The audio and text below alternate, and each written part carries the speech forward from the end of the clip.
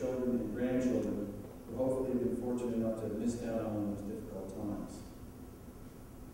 It's likely that the lingering memory of these wounds helps to explain why the Lumberton community down the road, once so active in the restoration of its premier movie house, the Carolina Theater, some of you may have visited Carolina recently, why they failed to hold any public ceremonies and publish no news articles as the site reached its 75th anniversary back in 2003, a decade almost. One wonders whether or not, in a community increasingly influenced by non-white political leaders, quite a few of whom have openly questioned the rationale for continuing to allocate taxpayer dollars to a performing arts center situated inside what had once been a tri-site rated picture palace, wondering whether or not the bulk of the local population has determined that the Carolina Theater no longer merits celebrating.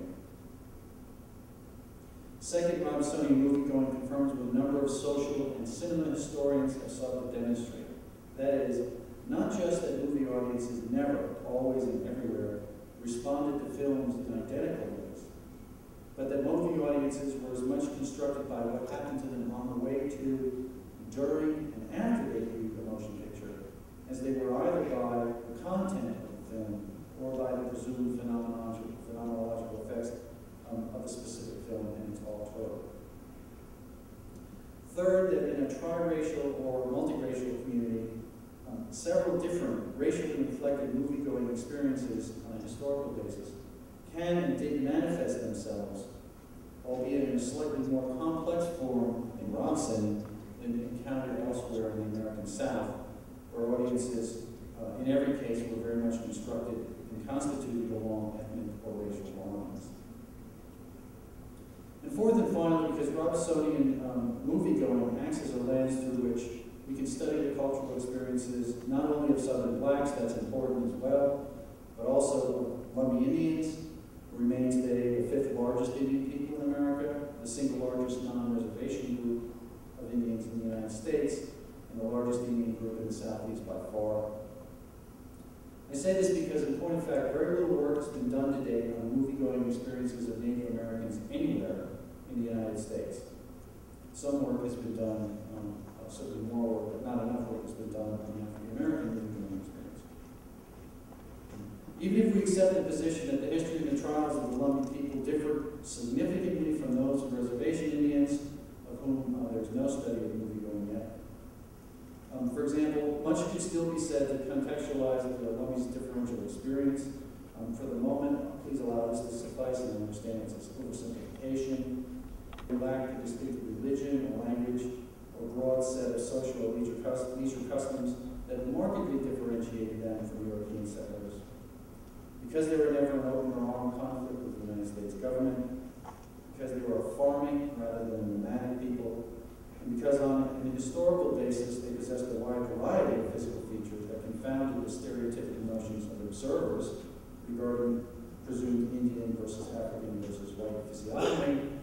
That's a situation that resulted from the region's long history of racial intermingling, even though interracial marriages were for over a century illegal in the state of North Carolina. Because of all these reasons and more, the Lumbee's cultural identity remains a topic of significant social and political debate today, as both the Lumbees and uh, Carolina politicians, the latest being Senator Richard Burr, labor to achieve full federal recognition of that trauma. I find Lumbee's interesting because, as a result of many of these factors, Lumbee identity, in fact most social identities, can be viewed as a social construction. Um, as Lumbee ethnologist Karen has noted, for Lumbees, the foundation of Lumbeeness involves a network of family ties, number one, a shared sense of an identifiable home region, several counties in southeastern North Carolina, number two, and a kind of group self-judgment. In other words, you're a Lumbee if other Lumbees say you are. And that's an identity rubric that's shared among a number of Indian peoples across the United States um, who remain intent upon exercising their own forms of tribal sovereignty.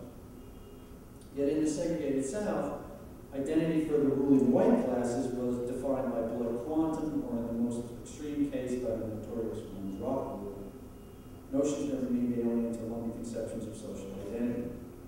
Consequently, identity conflicts naturally arose when Lumbees were forced to claim a culturally limiting identity label like Indian, or worse at the time, in some cases they're referred to as Croatan, as they interacted with white business owners in towns like Lumberton, where few Indians tended to live, uh, more African Americans uh, tended to live in towns in Ross County, yet where most of the movie houses were located. You see where this is headed. In fact, it's the series of racial negotiations in culture with not one but two subject minorities that I find so fascinating because it challenges Manichaean views of Southern racial ideology, showing it to have been far more flexible and complicated than has typically been acknowledged. As a result of what we find in Robeson County, it's my hope that social and cinema scholars alike will move towards adopting a more multiracial and multicultural perspective in their work. Moreover, I advocate for seeking out additional sites that recall the demographic complexity of Robeson County, perhaps New Orleans or San Francisco or Oklahoma or southern Texas or California. Sites that offer evidence of other distinctive yet racially inflected cinema-going experiences in order to discover what they have to tell us more broadly about the performative nature of racial, ethnic, and cultural identity. Can I ask you to advance this slide? Um, before reviewing a set of physical evidence that confirms the development of triracial theaters in Robeson, I should say, say a few words about the county's demographic makeup. Some of this may be familiar to you, um, perhaps not. Located along the Carolina border in the state's coastal plain, Robeson County has a population divided fairly evenly across three racial groups, Caucasian, African American, and Native American. Over the course of the period covered by this study, however, uh, it's useful to bear in mind that the white percentage of the county's population held steady at roughly 45%, while the percentage represented by blacks fell over the period largely as a result of northern migration in the face of Jim Crow to 33%, and the Indian population correspondingly rose from roughly 11 to 22%.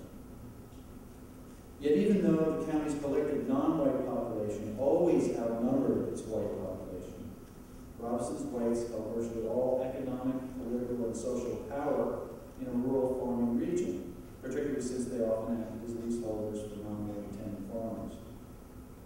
It's also worth noting that until the 1930s, very few non-whites lived in Robeson's main towns, and this discrepancy held just as true in the county seat, as it did in Pembroke, the town next to the center of the region set of Indian-dominated villages.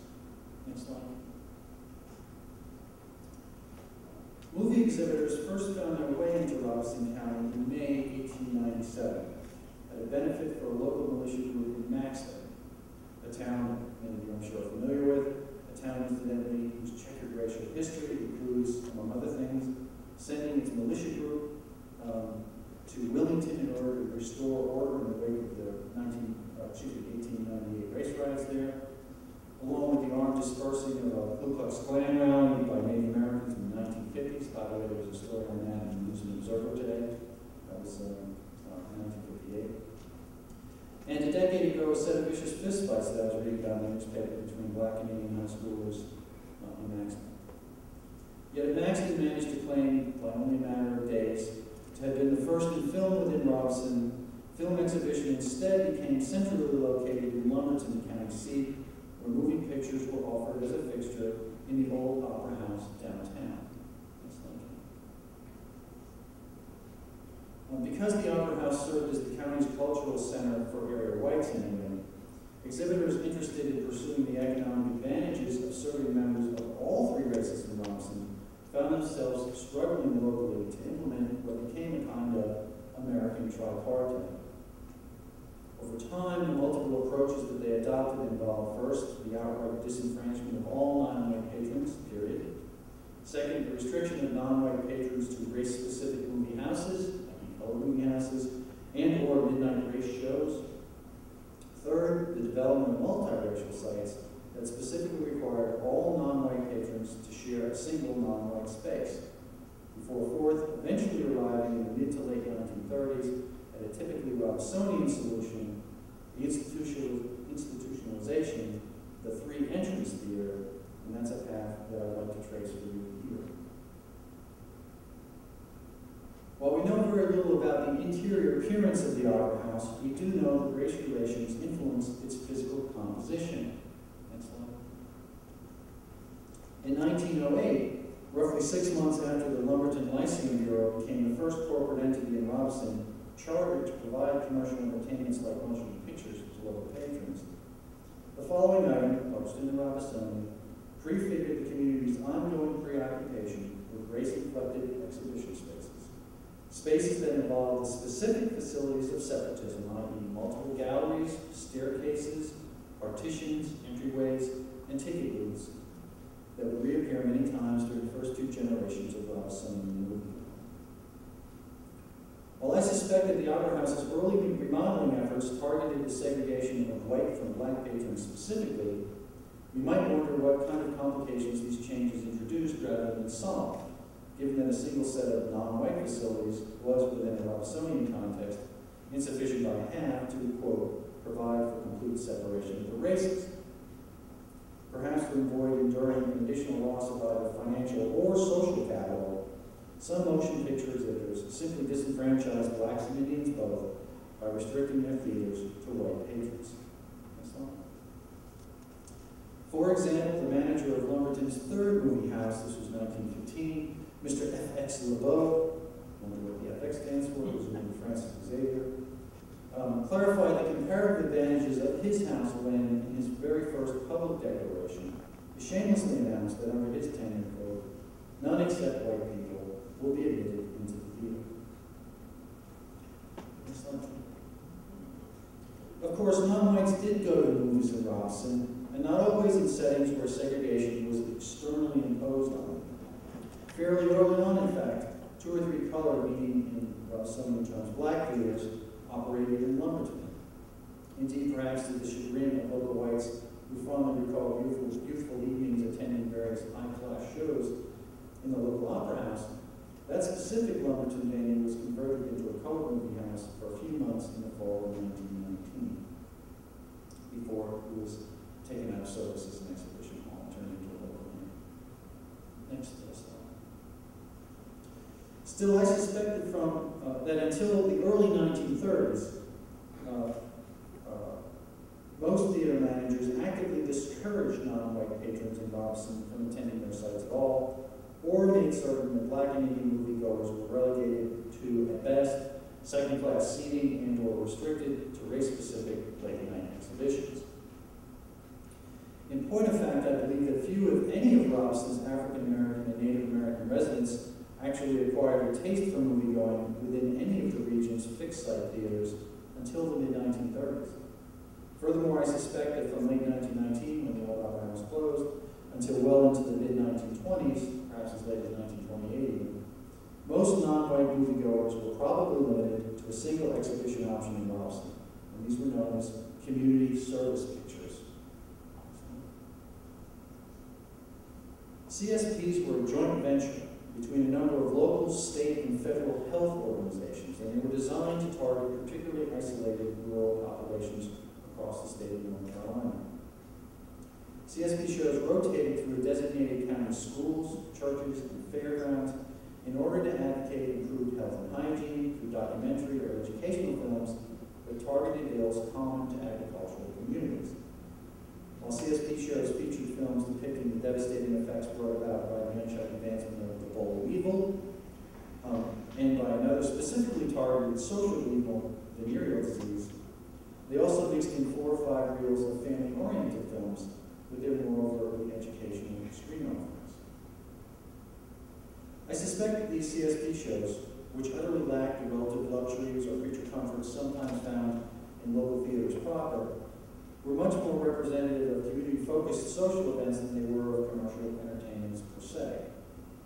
Yet although they were being held in decidedly multi-ethnic Robeson County, CSPs appear not to have been multiracial events. From the beginning, in fact, sponsoring organizations recognized the need to divide their exhibition capacity three ways in order to serve the county's triracial groups. In Robeson, for that matter, the very first announcement regarding upcoming CSP shows included two non-white sites, Union Chapel, which was coded as Indian, and Shannon, which was coded as Negro. And as far as I'm aware, this uh, tripartite segregation, of this state uh, government-sponsored program, occurred nowhere else in the state of North Carolina.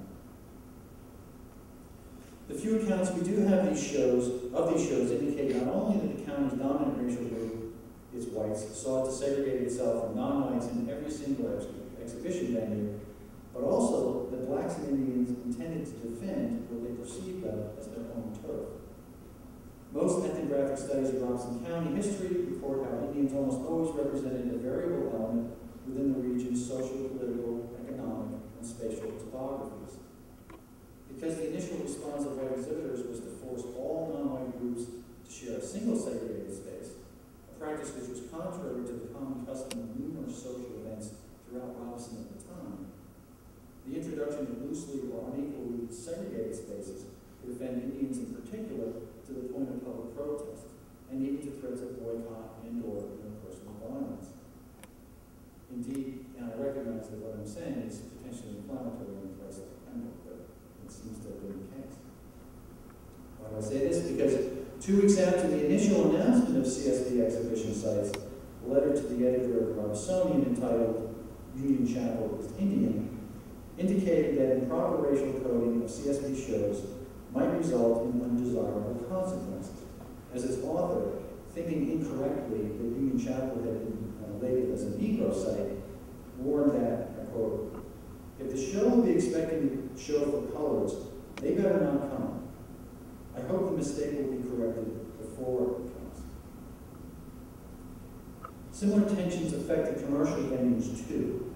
For as several theaters began admitting non-white patrons, albeit of course only to their balconies, a set of critical race management issues arose, the most pressing of which was whether or not Indians could or would accept the same second-class treatment inflicted upon blacks. Um, next slide, please. Anecdotal evidence suggests that when faced with such a choice, many Indians refused to go to segregated theaters at all, while others sometimes passed themselves off as whites. However, most of those who passed into white theaters felt a sense of guilt afterwards for having betrayed their ethnic subcommunity by having done so. Over time, the problem of trying to keep audience members properly segregated along racial lines so vexed white theater operations staffs that the manager of one theater hired an Indian boy to point out non-white seating violations. Can we imagine just for a moment what it must have been like to walk around in anti-man shoes for a few weeks? Frankly, it wouldn't matter whether you were Indian or African American. In any case, by the mid-1930s, simmering racial tensions soon resulted in an active battle for balcony space. Next slide, please. One of the most dramatic examples of the local tensions resulting from these spatial negotiations occurred in 1934 in Lumberton, where after a five-year hiatus, the oldest Nickelodeon-style theater in the area, the Pastime Theater, once again reopened. Initially, its advertisements featured a balcony of 100 out it was 140 seat balcony, of 100 seats exclusively for Indians. However, a few weeks, and as far as I know, that's the very first time I was ever advertisement in Robeson County soliciting Indian patronage at the theater. However, a few weeks later, a new pastime ad that touted an entire balcony for colored people suggested that the site had reconfigured its single balcony space to target an African American rather than Indian trade. Go to the next slide. And there we see the change. Exactly what led to this policy shift is unclear, but two weeks after the modified ad appeared, the following rather remarkable editor appeared, again in Robesonian. Uh, it's a rather lengthy quote. I was in Lumberton with some other Indians recently, and we went to the show at the Pastime Theater, which was opened some time ago as a theater for the white and Indian people and no one else.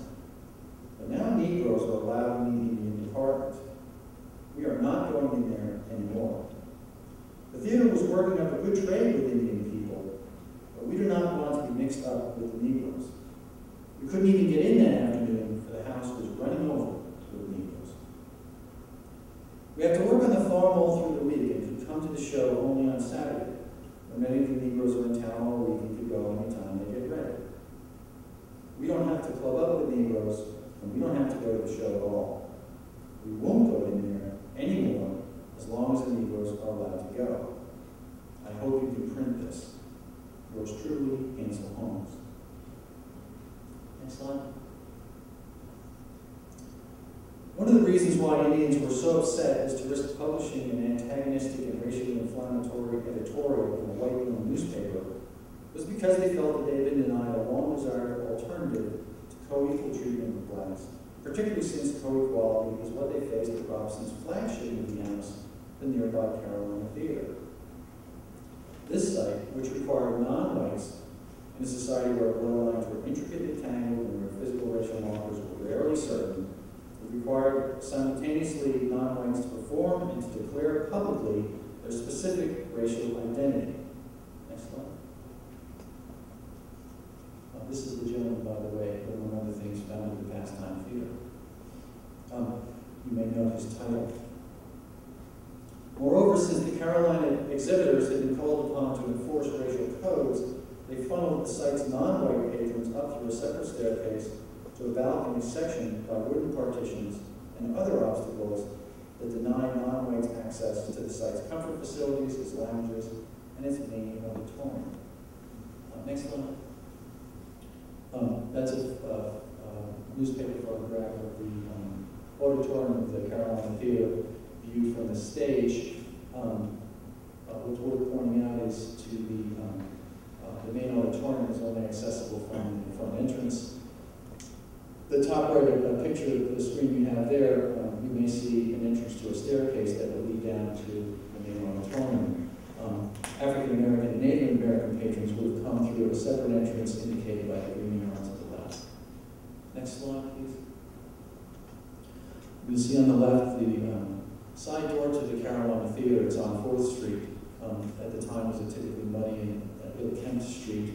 Um, upon entry, entering that staircase, or that doorway, you would go up a segregated staircase. Next one.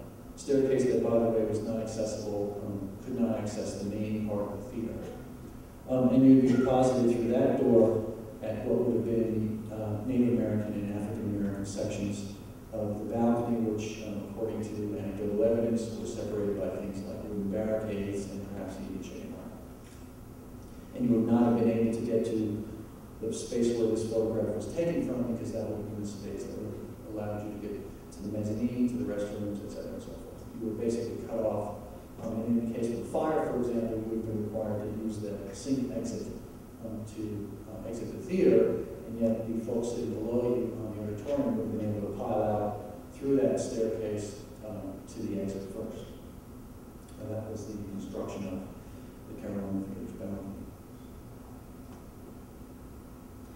Nevertheless, because the Carolinas uh, side or north door on 4th Street failed to provide for quote-unquote the complete separation of the races that had been desired by whites since the beginning of the county's regularized uh, sin expeditions in the uh, early 1900s, so the county operators took the next logical step, and that was to provide for complete racial separation all the way from the sidewalk to the seats. Next slide, please. By 1937, for example, renovations at the Red Springs Theater carried a decidedly Robesonian flavor, based upon that site's multiple balconies and entrances serving different racial groups, described there.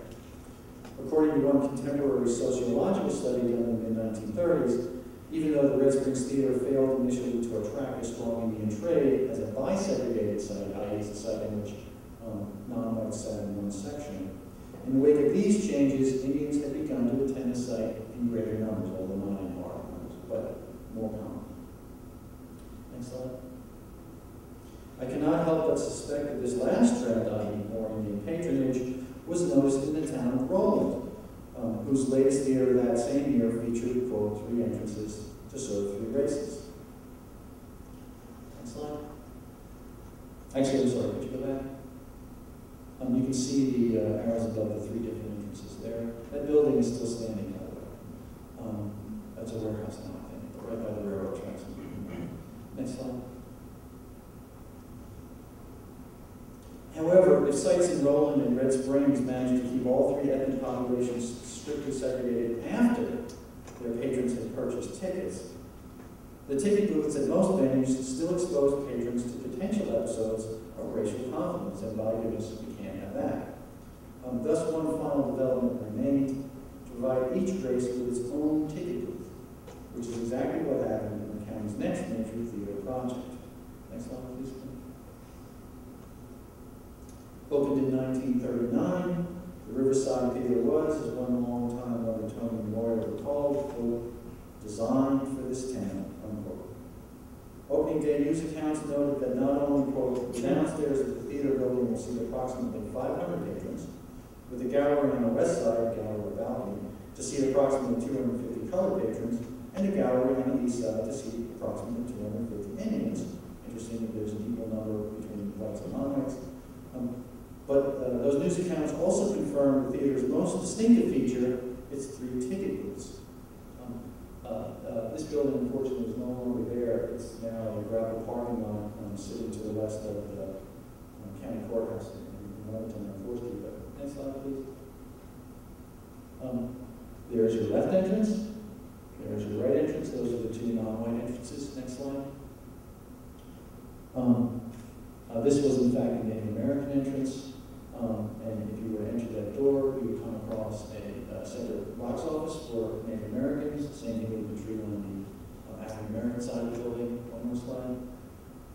Um, and from that space, you would not be able to enter the main part of the theater. You would have been funneled up, again, uh, a rather staircase, um, and exited into a uh, segregated balcony in which you would have had, um, you can see at the top, sort of like a baseball uh, uh, stadium type seats, very hard, unpleasant, uncomfortable seats. But at least you had your own which was nice.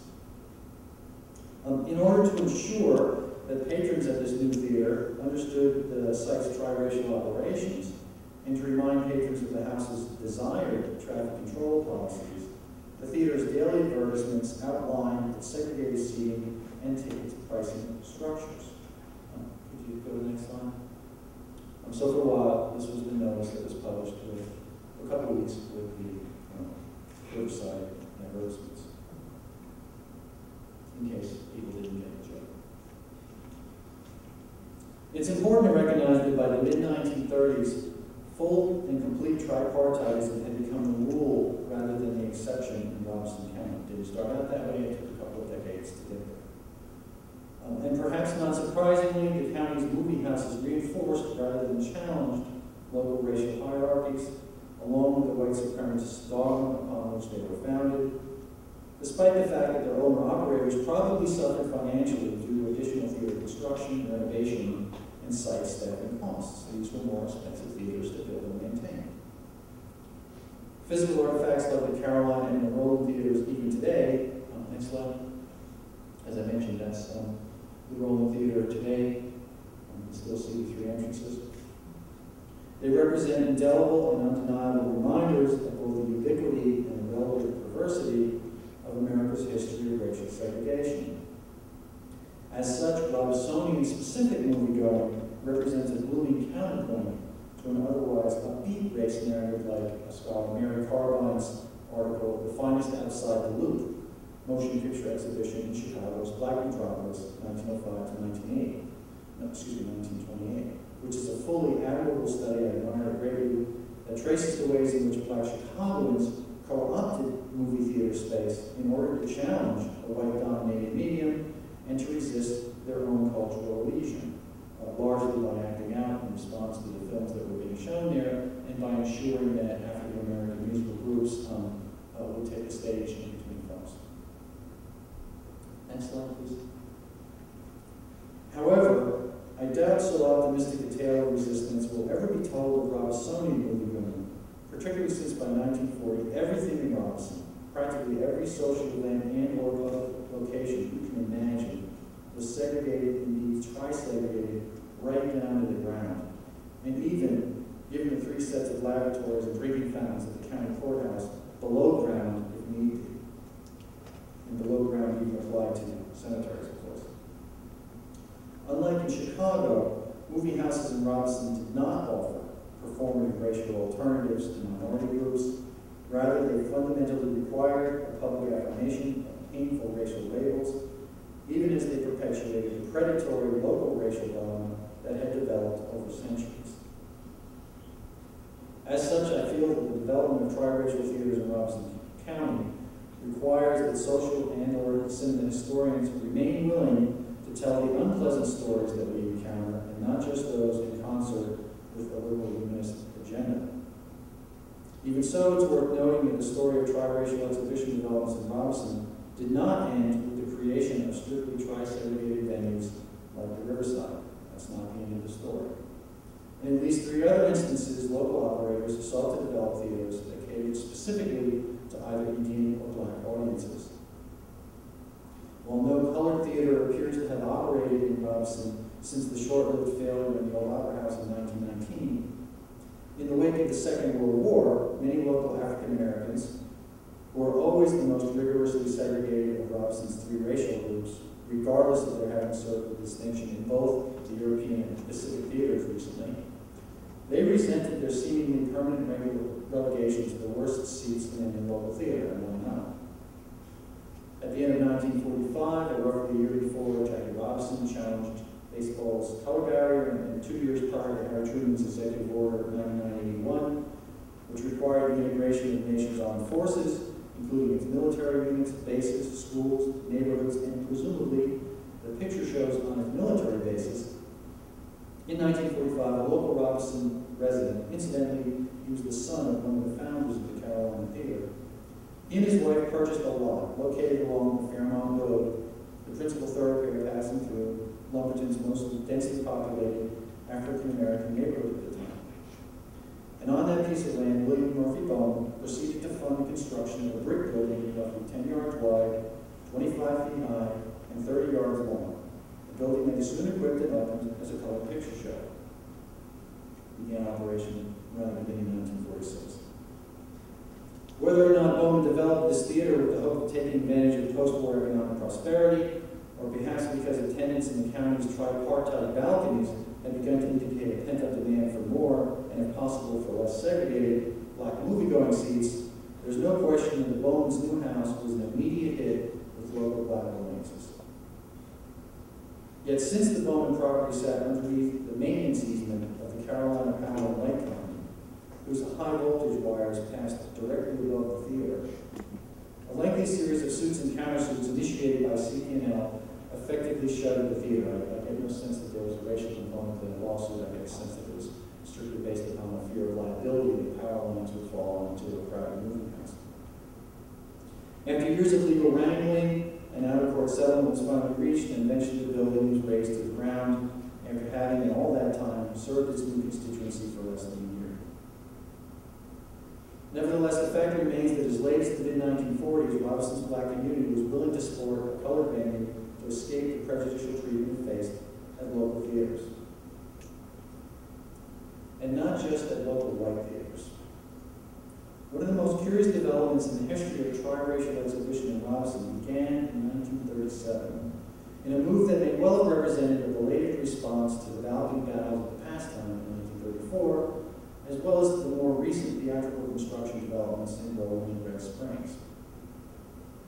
In April 1937, the Pates Supply Company, a firm that for decades had managed a series of trading posts, general and hardware stores, and agricultural supply depots in the swamp cut region situated halfway between Lumberton and Maxton, and a firm that represented by far the largest landowner in downtown Pembroke, it decided for unknown reasons to lease a two-story building fronting the primary east-west thoroughfare passing through central Pembroke, over there, to the Rogers Brothers, a pair of white siblings who fairly quickly outfitted the theater's interior, acquired its projectors, and arranged for the films for the site's film deliveries. Yet the brothers, for reasons unknown, soon transferred the managership of the new Pembroke Theater to an experienced theater operator named Charles Tucker. Charles Tucker had, for the previous seven years, worked at the, by then, fully tri-segregated Red Springs Theater. So he's coming from a tri-segregated theater in Red Springs to a theater in Pembroke. His experiences in Red Springs led him ill-prepared to manage the site whose success critically depended upon satisfying the preferences of Native American moviegoers. Having been shown first to a buy and subsequently to a tri-segregated balcony in Tucker's previous theater, Indians in Pembroke claimed the right to sit beside white patrons in the Pembroke Theater's main auditorium. despite the fact that no other contemporary Robesonian exhibition venue permitted the direct intermingling of white and non-white patrons. That didn't even happen, for example, in the county courtrooms.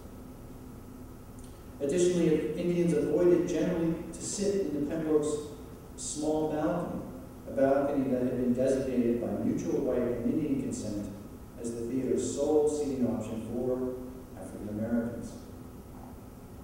In short, however, Tucker's preferred seating policies resulted in Indian dissension, as demonstrated in the following excerpt of an interview with an early theater employee named Elizabeth Stubbs, and this is Miss Stubbs. And I presume Miss Stubbs was white. We seldom have any trouble at the picture show here. The Negroes sit in the balcony, the Indians in the right and middle sections uh, of the auditorium, and the whites in the left section of the auditorium. Mr. Rogers, the owner, always reserves the last row of the white section for himself.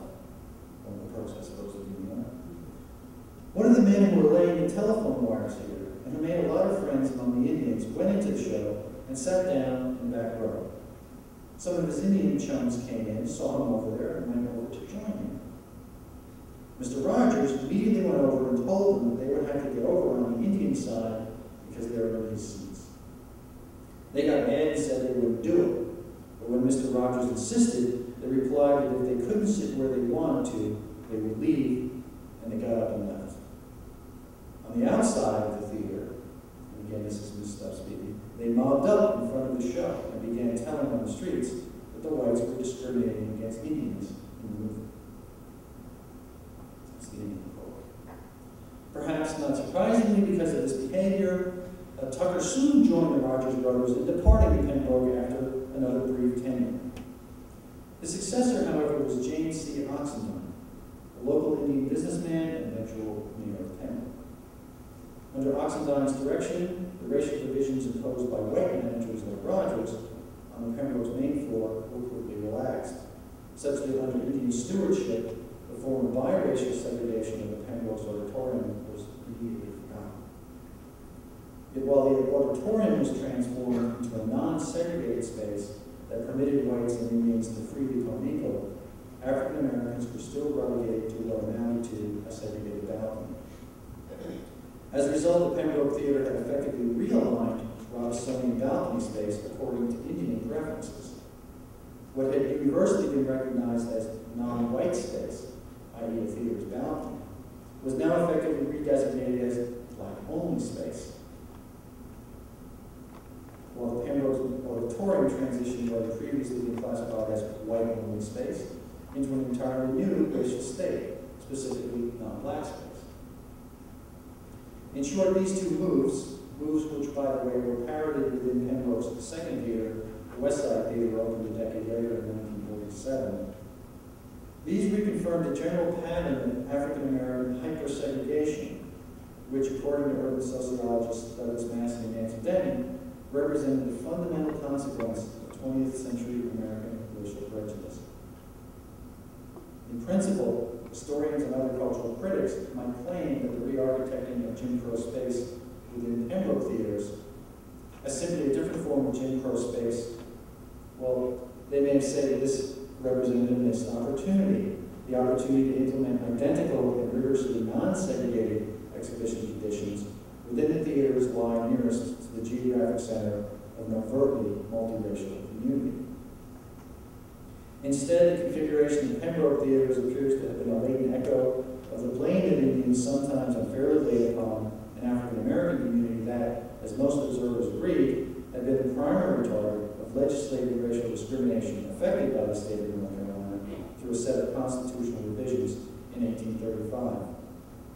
These changes had specifically designated Indians as people of color, and in so doing, and quite consciously I might add, um, the state thereby denied Indians many basic civil rights, of course, rights that were also denied to African Americans. And in a sense, Indians unfairly resented blacks for the development of what became a generally binary form of segregation, I mean, white versus non-white segregation. Um, one whose conflation of Indianness and blackness had been given nothing less than constitutional currency in the state. And this was a problem. That being said, it's important to note that the discriminatory practices aimed at marginalizing blacks across the South occasionally were relaxed in Robeson enough to enable Indians to occupy an intermediate position within a region in which whites tended to rank Indians socially higher than blacks. And again, I'm just reporting this, I'm not agreeing the assumptions behind it. Uh, based upon his six months of field work in Robeson County, in fact, the noted sociologist from Winston Chapel Hill, Dr. Guy Benton Johnson, observed that in those social, social situations and or public facilities in which um, tripartite, tripartite accommodations proved impractical, any resulting biracial situations which left Indians, quote, classed at the bottom, unquote, with local blacks tended to infuriate Indians who were upset at having been subjected to black co-location without their consent. Therefore, the move to re-architect theatrical space in Pembroke represented a move towards Indian co-location with whites, a co-location which, had it been denied, would probably have meant the closing of the Pembroke Theater, simply because approximately 80% of the residents living within the vicinity of Pembroke at the time were Indian. Indeed, Johnson himself believed that the aspiration of Robeson's Native Americans to achieve greater social equality with whites required Indians to avoid any association such that, quote, among Indians, nothing is more taboo than to suggest they possess either Negro social or physical traits. Nevertheless, even if the development of Pembroke-based theaters appears to have produced the first set of local movie-going facilities socially palatable to Indians, just as the Bowman Theater would prove enormously popular with black patrons for similar reasons. These theaters were exceptions to the rule of tri-segregated living in Boston. While Pembroke moviegoing confirms that discriminatory moviegoing practices were not implemented exclusively by white businessmen or theater operators to serve the president, uh, excuse me, to serve the preferences of the majority white audience, the simple fact is that corrosive racial dynamics had indelibly shaped all local moviegoing conditions throughout Robeson in every single. By transgressively re-architecting previously non-white balconies into black-only space, Pembroke theaters managed only partially to challenge the power structures set in place and rigorously maintained by Robeson's white and very occasionally by its Indian majorities. Even if we accept the, theory, the theory that Pembroke moviegoing represented a mildly transgressive movement by Indians towards greater social equality, it simultaneously sabotaged its potential to encourage broader and more equitable local racial reforms by virtue of its inherent exclusivity. Thus, as cinema historian Janet Staiger has noted, it remains important to, quote, avoid correlating political effectivity, unquote, with movie-going transgressivity. Instead, Staiger recommends that we consider each such episode quote, as a whole within its historical context and its historical consequences prior to making any evaluative claims about whether or not the meanings are progressive or conservative, and for whom. Next slide, please. Ultimately, and despite the exceptions that the Pembroke, Westside, and Bowman theaters represented to the universal rule of black and Indian subordination in Robeson, the standard pattern of discrimination defining most local movie-going sites through 1950 was so ubiquitous that it was advertised, even within the pages of the Pembroke Progress. Ironically, the Progress at one time had been edited by an Indian, in fact by the well-respected Lew Barton, the father of Bruce Barton, himself an Indian leader and activist who's gone on record as having vowed never to attend a film in a tri-segregated venue like the Carolina Theater. Can readily imagine that both men were discouraged by the fact that the newspaper serving one of the county's most densely populated Indian communities had partly funded its efforts through advertisements purchased by tri-segregated theaters like Riverside and Carolina. For the most part, Robesonian theaters perpetuated Jim Crow prejudices and inflicted a shameful burden on non-white victims who, powerless in their frustration, usually hesitated to articulate the burdens of their experiences to outsiders. And that hesitation, I would suggest to you, continues to this day. Yet we know the frustration and despair involved was real. During one of his many visits to Robeson, a white sociologist and Lumbee activist named Gerald Sider, engaged in a late-night conversation with the Lumbee friend. A conversation that Sider understood, even while it was occurring, contained a set of intimate confidences that would, over time, inform his efforts to improve the social and political conditions of Robeson's subject minorities, both Indian and African American, for years to come. And here is the uh, record of that conversation by Sider. The conversation began actually between several Indian men in the dooryard of the church just after the voter registration meeting. It was about where to buy a car, where you might find a good price, and also respect from the dealer. Back in his kitchen, with just the two of us there, he wanted to talk more about this, and not just talk with me, but this time to me. For several hours, long into the night, he tried to describe, often with tears in his eyes, a lifetime of juggling, leaving his wife and children out in a hot car upon some pretext or another, to go into an unfamiliar store alone so that his kids or his wife would not hear him call a boy or his wife auntie. And he told me that they really knew why they were left in the car, but they didn't say or ask. Countless incidents, a whole adult lifetime, trying to shield his family and himself, preserving their dignity and humanity, and doing so with some success, while everyone also knew the pretexts and knew why. A whole lifetime of struggle and negotiation, relentlessly necessary. Such poignant remembrances suggest the need for us to temper any hindsight-based criticisms of those Indians who preferred to stroll freely through the door of the Pembroke Theater rather than to queue up outside the Carolina Theater's north door.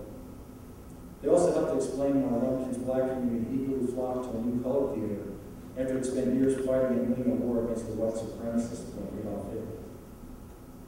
The rare non-white movie-going alternatives that I've documented for you today may simply have provided blacks and Indians a chance to enjoy a similar experience free from the domineering glances of white patrons, and without the possibility of engaging in intense or embarrassing encounter with local whites or with, with members of the region's other subject minority. However, given that these more pleasing alternatives were so infrequently available, what may be the most remarkable legacy of non-white moviegoing in Robeson County is neither the hesitancy of some of non-whites passively to accept discriminatory treatment in local theaters, nor is it the fact that on rare occasions individuals like Ansel Holmes steeled themselves to protest the unsatisfactory treatment non-whites received in bi or tri-segregated venues. Rather, for me, the wonder is that non-white movie patrons were ever willing to attend tri-segregated